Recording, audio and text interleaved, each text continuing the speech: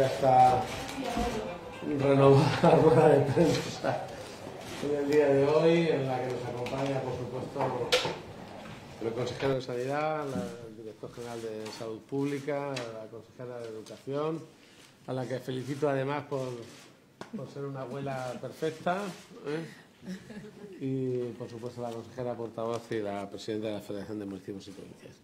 Eh, les dirige la palabra el consejero de Sanidad, lo, lo hará la, la consejera de Educación y a continuación yo.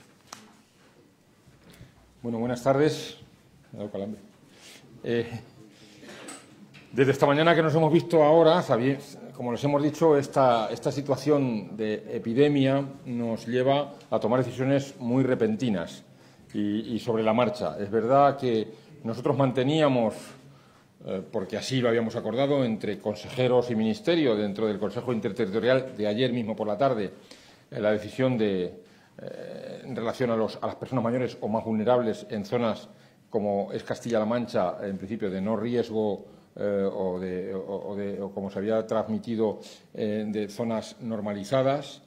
Eh, pero eh, los acontecimientos, como digo, han llevado a, por el Consejo de Ministros una rueda de prensa del presidente en el que eh, aconseja eh, el cierre, porque además eh, hay más comunidades como la nuestra que sin estar en especial ámbito de riesgo eh, estaban tomando decisiones eh, o estaban empezando a pensar en tomar decisiones como nosotros haciendo. Hemos mantenido una reunión después de la de esta mañana, ha continuado la reunión extraordinaria y, al final la decisión de, esta comisión extraordinaria ahora la comunicará el, propio presidente que afecta a varias consejerías. Y además tiene que ver no solo con, con lo que veníamos hablando esta mañana de personas mayores vulnerables con centros sociosanitarios o centros sanitarios de los que ya hemos hecho la instrucción y además hemos empezado a comunicar sobre todo a autoridades locales lo que se puede ir acometiendo eh, porque ellos también tienen la presión más cercana y ahora vamos a, abundar o hacer mayor la decisión que a lo largo de la mañana, desde que esta mañana estuvimos con ustedes, ahora hemos tomado y lo hará, lo hará el presidente. Pero de momento doy la palabra a la eh, consejera de Educación, Cultura y Deporte. Muchísimas gracias, compañero. Bien, como eh, pueden imaginar, eh, les hemos reunido en rueda de prensa para comunicarles que a partir de mañana se cerrarán los centros educativos en Castilla-La Mancha.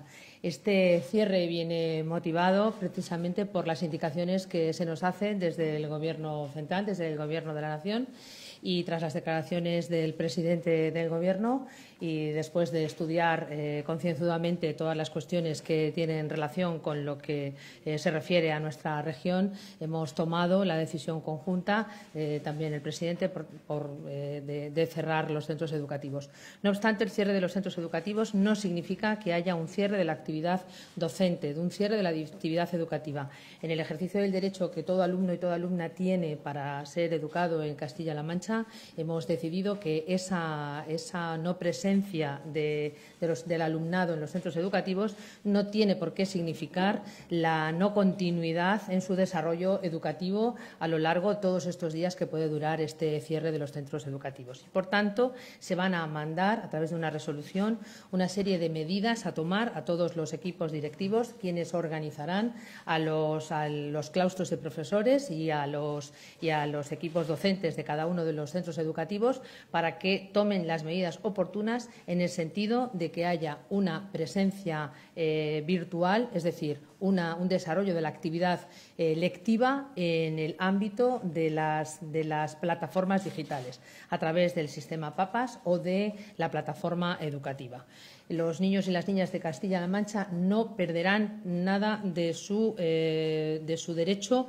a ser educado, no perderán ninguno de los contenidos ni de, los, ni, ni de todo lo que tenga que ver con su currículum educativo. Y en esa línea el profesorado eh, al que le pido, por supuesto, un ejercicio de, bueno, de, trabajo diferente al que habitualmente hacen y en el que confiamos, no solamente desde la Consejería, sino desde todo el Gobierno, confiamos en ellos extraordinariamente. Sé que los docentes lo van a entender, sé que los docentes lo van a hacer excepcionalmente bien y, desde luego, lo haremos desde una plataforma digital para que los niños y las niñas no pierdan ese contacto y ese derecho que tienen a la educación. Pero los centros educativos, eh, presencialmente, de forma presencial, se van a cerrar.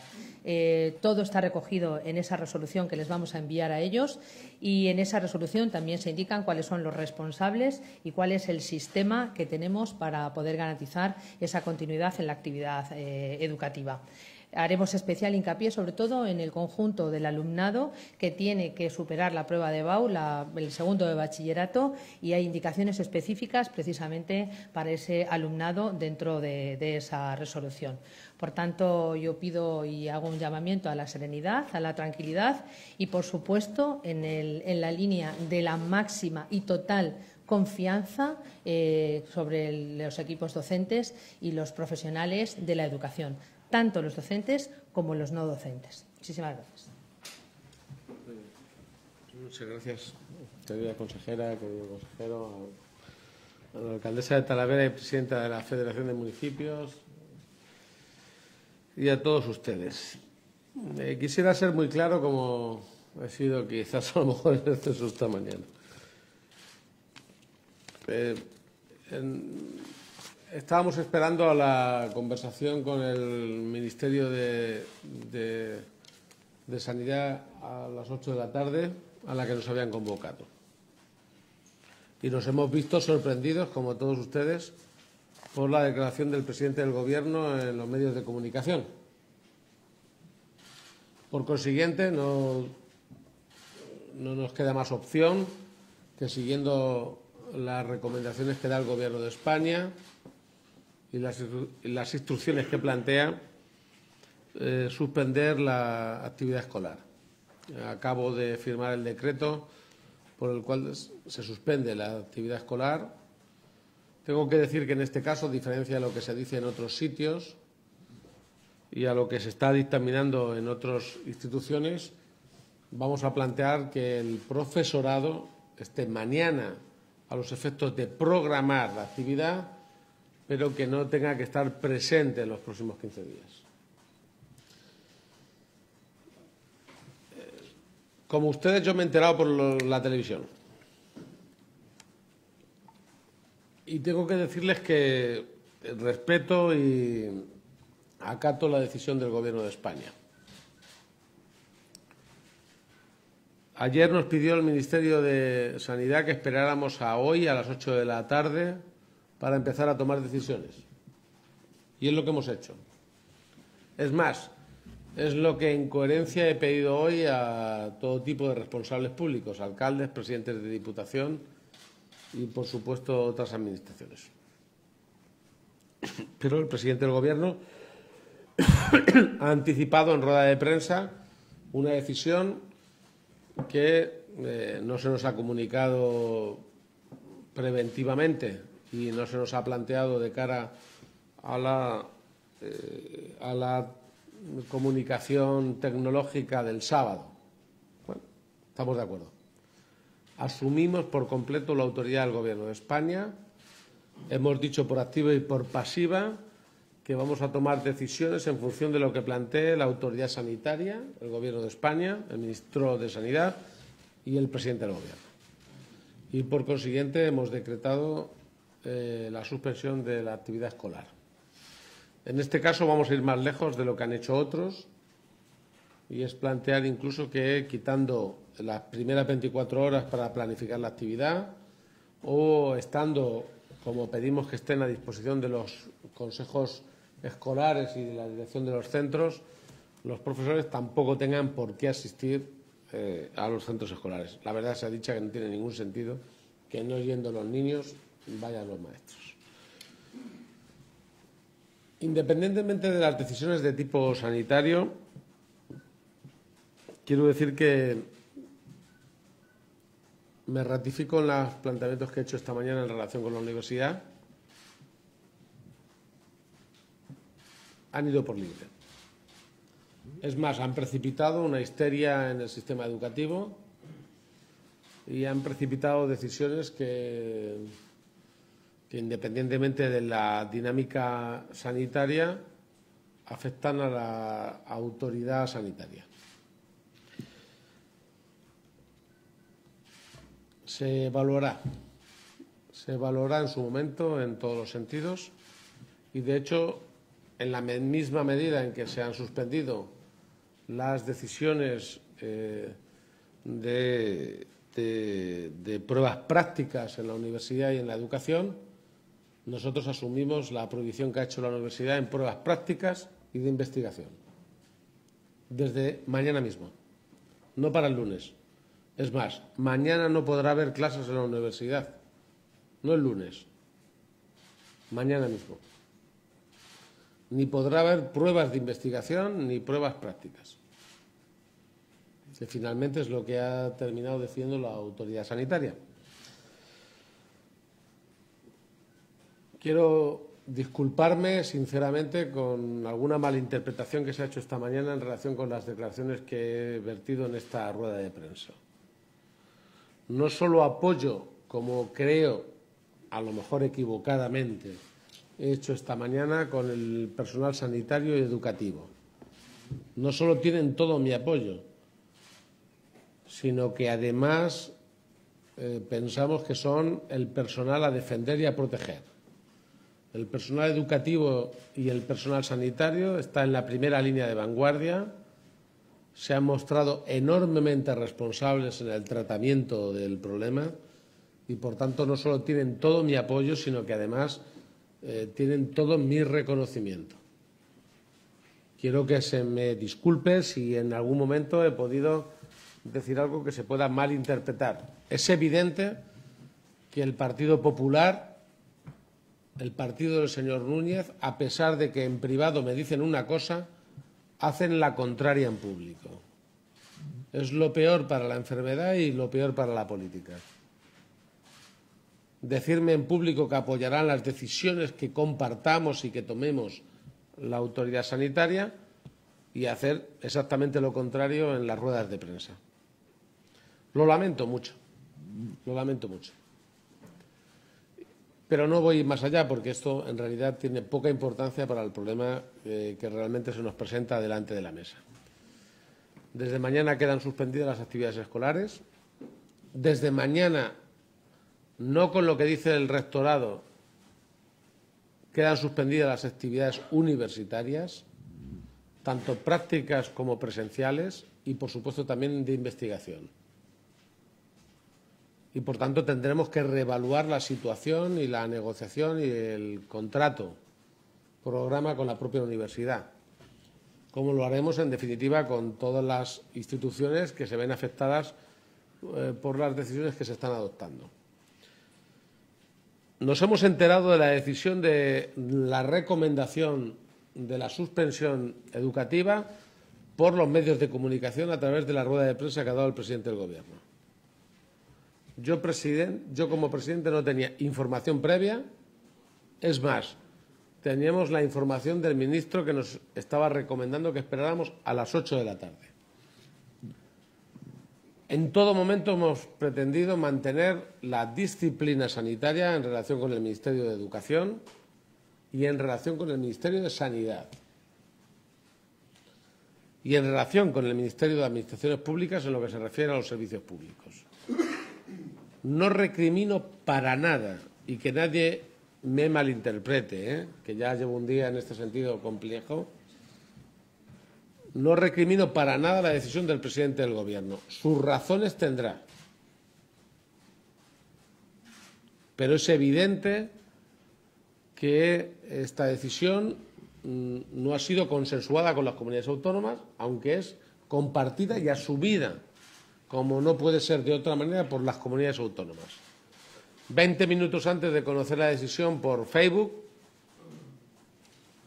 he tenido la ocasión de hablar con el Gobierno de la Comunidad de Madrid, con el Gobierno de la Comunidad Andaluza, del PP, con el Gobierno de la Comunidad de Castilla y León, que por supuesto llevan la contraria, por supuesto, a todo lo que dice el PP de Castilla-La Mancha. Pero en todo caso, todos nos hemos puesto a disposición de lo que diga el Gobierno de España. Por tanto, no tenemos más que decir. Simple y llanamente estamos a disposición de lo que diga el ministro de Sanidad, de lo que diga el Gobierno de España, de lo que digan las Cortes Generales. Evidentemente, si el Congreso de los Diputados decide no reunirse, el mensaje que está lanzando la sociedad española es que no se reúna nadie. Tampoco se ha consultado con ningún gobierno autonómico ni con un parlamento autonómico. Dicho lo cual, no lo critico, ¿eh? simple y llanamente lo testifico. La coordinación significa que todos los que estamos por debajo asumimos las decisiones que se tomen por arriba.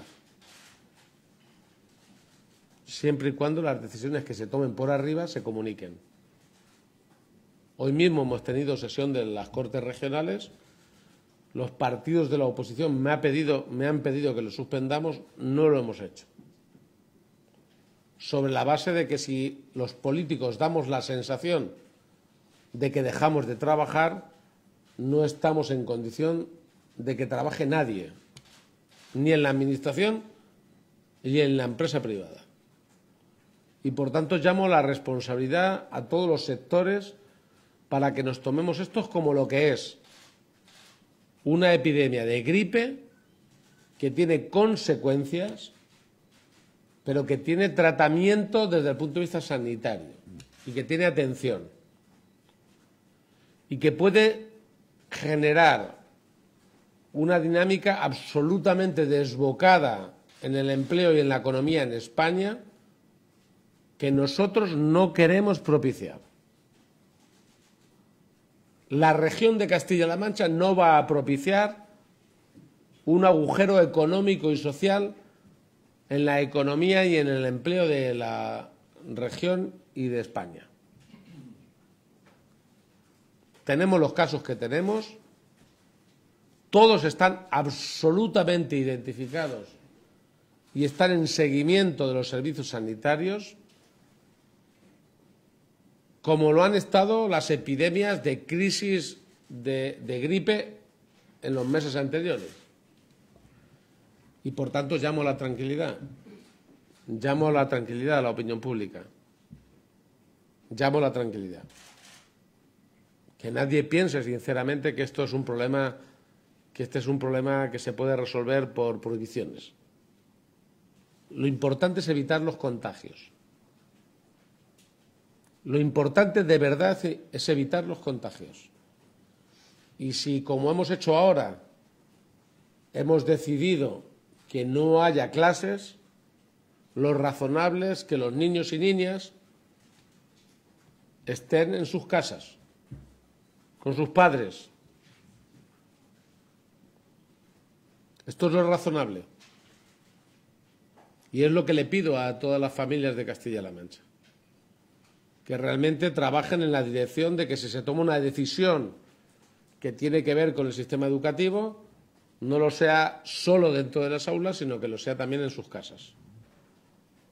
Ya sé que esto resulta incómodo, que resulta inconveniente en términos políticos, pero de la misma manera que hemos recomendado no viajar fuera, es más, de la misma manera que estamos asumiendo que hay un descenso brutal de la gente que quiere viajar a Castilla-La Mancha, tenemos que decir que es muy importante que se limiten los movimientos. Si mañana viernes a las 7 de la tarde hay cientos de miles de personas que salen de Madrid, tendremos una fotografía compleja de administrar. Y como le dije ayer a la presidenta de la Comunidad de Madrid, no le echamos ninguna responsabilidad, no lo voy a hacer. Pero es importante que entendamos hasta qué punto la transmisión tiene que ver con el movimiento. Si hemos decidido y decidimos cerrar los colegios, no es como consecuencia de que está permitido todo lo demás, sino como consecuencia de que todo lo demás está también limitado. Me importa mucho esto que les estoy diciendo. Ya sé que hay gente que piensa que, conviene mantener una posición más, eh, más electoral. No es el caso. No es el caso. Lamento además que haya responsables políticos que me digan por teléfono que quieren hablar conmigo, pero que antes de hacerlo ya estén insultando o, o pidiendo dimisiones. Me insulto. Me parece francamente in increíble. Respeto las decisiones que ha tomado el presidente de Galicia, el presidente de Castilla y León, el presidente de, de, de, la presidenta de Madrid, el presidente de Andalucía. Muchos de ellos son presidentes con filiación del Partido Popular. Por tanto, no nos equivoquemos bajo ningún concepto. Este no es un problema ideológico, no es un problema de filiación, no es un problema de militancia. Se equivocan los que piensan de esa manera, ¿no?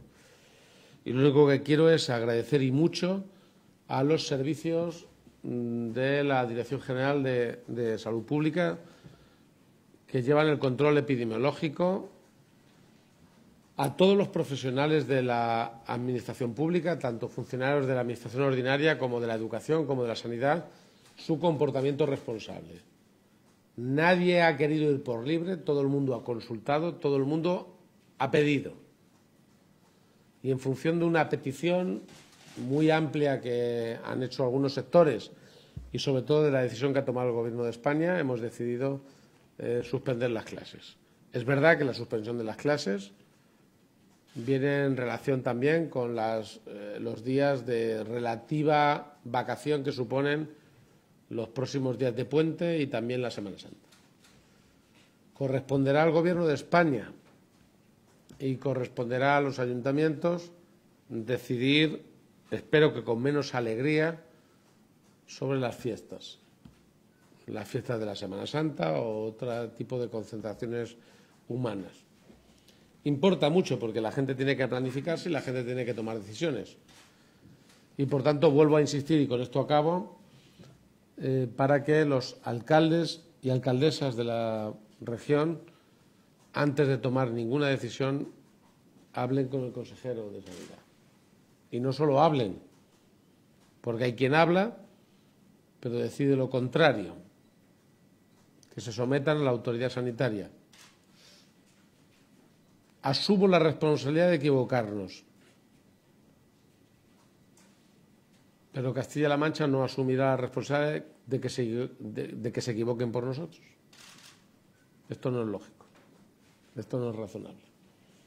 Cuando se produce una crisis de tipo sanitario hay que actuar en cadena. Y ningún eslabón puede ir por libre. Deja de ser eslabón. Es otra cosa. A su disposición. ¿La decisión formalmente la toma el Ministerio la Consejería? El presidente del Gobierno. Y yo eh, acabo de firmar un decreto. No, el presidente del Gobierno de España ha decidido recomendar a las autonomías que suspendamos los, la actividad escolar y, por tanto, ha firmado un decreto esta tarde eh, que se comunica al boletín oficial de las autoridades educativas. ¿Lamenta que en una crisis como esta haya fallado la comunicación de esta manera? No, no, no, no lamento. Es, es, todo difícil y, por tanto, no, no, no cuestiono para nada. Lo que digo es que, sinceramente, la información que hemos dispuesto de la suspensión, la petición del Gobierno de España ha sido por los medios de comunicación, no ha sido directa. Esa es la verdad. Podría decirles otra cosa, pero la verdad es que nos hemos enterado, nos hemos enterado por los medios de comunicación.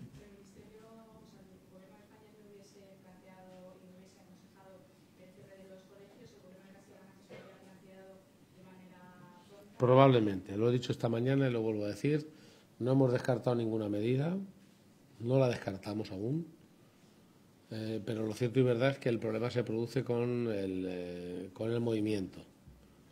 Por tanto, lo razonable es que el Gobierno de España analice las medidas de confinamiento. O sea, en un, en un, en, en un columpio se puede contagiar lo mismo que en un recreo.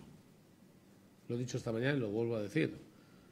Alguien se puede disgustar, pero es la verdad los trabajadores públicos están haciendo un esfuerzo inmenso de asistencia a sus puestos de trabajo.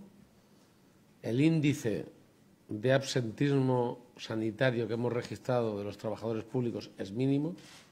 Es decir, agradezco muchísimo a los trabajadores públicos que no hayan decidido darse de baja por su cuenta, sino que estén en alerta. Esto es lo importante, ¿eh? tanto en educación como en sanidad, especialmente en sanidad, como comprenderán. El Gobierno de España nos ha informado a través de los medios de comunicación por la rueda de prensa que ha dado el presidente del Gobierno. Pero tengan en cuenta que en una sociedad como la que vivimos es un medio como otro cualquiera para comunicar las decisiones. Nosotros estábamos esperando a las ocho de la tarde con el ministro de Sanidad a saber exactamente qué decidía el Gobierno de España y, como les he dicho esta mañana, íbamos a tomar las decisiones en función de lo que dijera la Autoridad Sanitaria Nacional. Es razonable.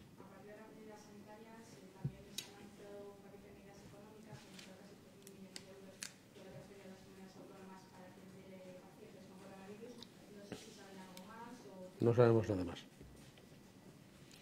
Las estudiaremos, obviamente, con el Gobierno. Lo verdaderamente importante es controlar la situación sanitaria. A partir de ahí vendrá la factura y cómo se distribuye la factura. Esto es un problema añadido que no solo tiene que ver con España, tiene que ver con Europa, tiene que ver con el mundo. Pero bueno, lo verdaderamente importante es atajar el problema desde el punto de vista eh, sanitario. Y luego ya veremos cómo se distribuye el gasto y los problemas. Esto es lo real. Nosotros, por ejemplo, entendemos que no tiene mucho sentido, contrariamente a lo que esta mañana se ha podido deducir ¿no? de alguna seguramente malinterpretación de mis intervenciones, no tiene mucho sentido también que, que los trabajadores de la enseñanza vayan al colegio cuando no van los niños. Eso lo vamos a plantear solo sobre la base de que vayan a planificar el trabajo distinto al presencial pero no tiene tampoco mucha lógica, por tanto lo planteamos de una manera razonable que los eh, trabajadores de la educación tampoco estén expuestos a la, al contagio. Tal y como se han desarrollado los acontecimientos, ¿considera que, que es un error de la Universidad de Castilla-La Mancha haberlo anunciado de forma unilateral? Bueno, me hubiera gustado que nos lo consultara y que hubiera hecho caso a las recomendaciones de, de la autoridad sanitaria.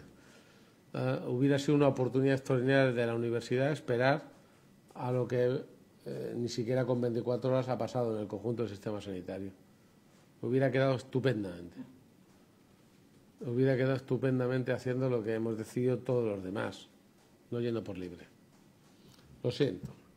Siento que se me discuta por esto y siento que haya decanos eh, que no sé si irán hoy o no a la cena de Albacete, pero que pero que me discutan esta decisión. La autoridad sanitaria está para algo. Y cuando le decimos a un ciudadano, aunque sea analfabeto, que cumpla con lo que dice el Estado y con lo que dice la Administración, se lo exigimos a todas las Administraciones, también a la universidad. Sí, por tanto, me parece que tenía que haber actuado conforme a lo que dice la entidad patrocinadora, tutora, tutelante y al mismo tiempo financiadora de la universidad. Sí, sí, lo pienso, sinceramente. No me hubiera importado para nada que el rector me hubiera llamado. Le hubiera dicho lo mismo que le estoy diciendo a usted.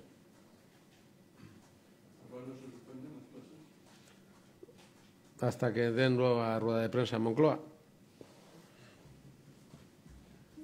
¿Se me entiende?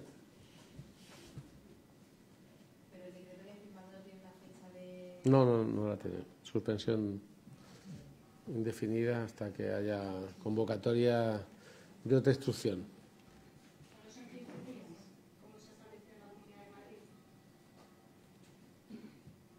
La Comunidad de Madrid. La Comunidad de Madrid tiene que pensar sobre todo qué va a pasar este fin de semana con la cantidad de gente que esté pensando salir de Madrid, básicamente. No, nosotros respondemos literalmente lo que nos ha planteado el presidente del Gobierno. Pedro Sánchez nos ha planteado que pensemos en suspender las clases y lo hacemos. Esto es, está supeditado a lo que piense el presidente del Gobierno. Bueno, de pensar, decidir, para que no sea malinterpretado. En cuanto a los, a los alumnos de segundo de bachillerato, sobre todo de cara a la prueba de la EBAU, no sé... Esto me preocupa, sinceramente, sí. Si están pensando que quizás se pueda suspender o, bueno, No. Vamos a intentar por todos los medios que se mantenga porque es determinante la evaluación de los, eh, de los chicos y chicas que tienen que presentarse a las universidades el curso que viene. Es determinante, determinante el examen y determinante la nota para poder optar a una plaza universitaria en el conjunto de España. Como lo son algunas pruebas que tienen que ver en, en la selección del personal público con la concurrencia en los tribunales de personal de la universidad. Claro, es obvio. Nos preocupa, sinceramente. Es que vamos a, ne- a necesitar funcionarios. es que vamos a necesitar personal público que esté habilitado, no lo contrario. Para los funcionarios de la Junta, ¿se han adoptado alguna medida, recomendaciones de teletrabajo específicas? La- las que están adoptadas con carácter general y las que mañana negociemos con los sindicatos empresarios. Yo creo que con carácter general todo aquel que tiene opción de tener una medida de teletrabajo lo tendrá sin discusión ninguna. Hay trabajos que se prestan a ello y trabajos que no se prestan a ello. Ahora, una medida de carácter general de suspensión de la actividad laboral de 73.000 trabajadores comprenderán que no la vamos a tomar eh, así como así. Todo el que pueda trabajar por teletrabajo lo hará y quien no pueda veremos horarios, conciliación y medidas adicionales. Lo haremos hablándolo con los sindicatos y con los empresarios, pero siempre desde el respeto a lo que es el servicio público, porque finalmente cuando hay una crisis de salud pública lo que más se necesita son servidores públicos.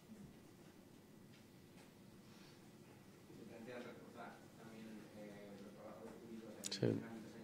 Sí.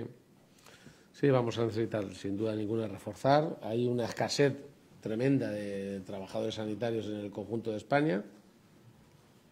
La decisión que ha tomado Madrid, eh, que tampoco fue consultada con las comunidades autónomas, independientemente de que sea buena o mala, independientemente de que sea lógica o no, como ayer tuve ocasión de decirle a la presidenta de la Comunidad de Madrid, eh, plantea obviamente eh, circunstancias añadidas al Gobierno de España y circunstancias añadidas a todas las comunidades autónomas, no solo a las limítrofes. Tengan en cuenta que hoy en la Comunidad de Castilla y León hay más de 100.000 habitantes que se han desplazado de Madrid a Ávila, a Segovia, a Salamanca y a Valladolid, que han dejado de estar en Madrid para estar en su tierra. Eso está pasando también en Castilla-La Mancha. ¿Qué va a pasar este fin de semana cuando haya cientos de miles de personas que salgan de Madrid? ¿Qué va a pasar? ¿Qué va a pasar? ¿Qué decisión va a tomar y quién la toma? Porque les aseguro que, que tiene más que ver con el problema del virus que probablemente los niños y las niñas. ¿Lo va a anunciar Pedro Sánchez o no lo va a anunciar? Lo que haga lo respetaremos porque nos sometemos a la autoridad sanitaria nacional. ¿Va? Estupendo. Muchísimas gracias.